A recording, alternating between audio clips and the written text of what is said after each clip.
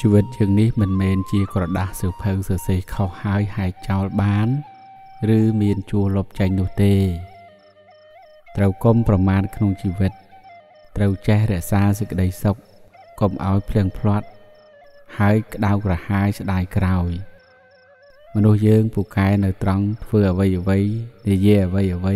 គិតអ្វីអ្វីចេះប្រយ័ត្ននឹងឯងមនុស្សឆ្លាតមិនមែនឆ្លាត ត្រឹមតែចេះនិយាយប៉ុណ្ណោះទេ គឺឆ្លាតពិសេសក្នុងការនៅស្ងៀមមិននិយាយផងដែរមិនមែនជាមាសប្រាក់ច្រើនទៅប៉ុណ្ណានោះទេ តែនេះគឺជាការសិក្សាយល់ដឹង បានធ្វើឲ្យជីវិត បែកចេញអំពីសង្គមសៅមងហើយមានសេចក្តីចម្រើនទៅដោយសេចក្តីសុខផ្លូវចិត្តច្រើនឡើងច្រើនឡើង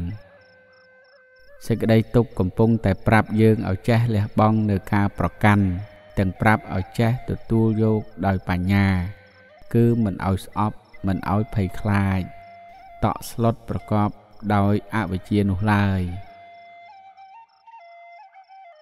មានដឹងថាការងាររបស់ជីវិត គឺជាអ្វីទេ គឺដោះស្រាយបញ្ហា ដូច្នេះត្រូវយល់ថា បញ្ហាកើតមានមកសម្រាប់ឲ្យយើងដោះស្រាយមិនមែនសម្រាប់ឲ្យភ័យព្រួយកើតទុកស្លន់ស្លោនោះទេ ត្រូវចងចាំទុកថា បើអត់មានបញ្ហាទេ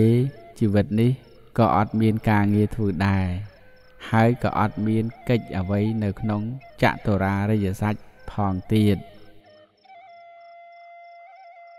មនុស្សយើងដោយច្រើន ស្រឡាញ់វត្ថុខាងក្រៅ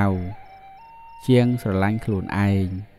ដោយមិនដឹងពិតអំពីជីវិតមានតម្លៃអាស្រ័យគុណធម៌ចំណេះដឹងនិងការសង្គ្រោះគិតខុសថា ខ្លួនឯងមិនមានតម្លៃអ្វីឡើយ បើមិនមាននៅវត្ថុនេះវត្ថុនោះទេ នេះជាការយល់ច្រឡំធំណាស់របស់សត្វលោក ដែលធ្វើឲ្យវង្វេងខ្លួនជាប់គ្រឿងញៀនក្នុងលោក ប្រឹងប្រែងស្វែងរកតែវត្ថុសម្បត្តិខាងក្រៅ។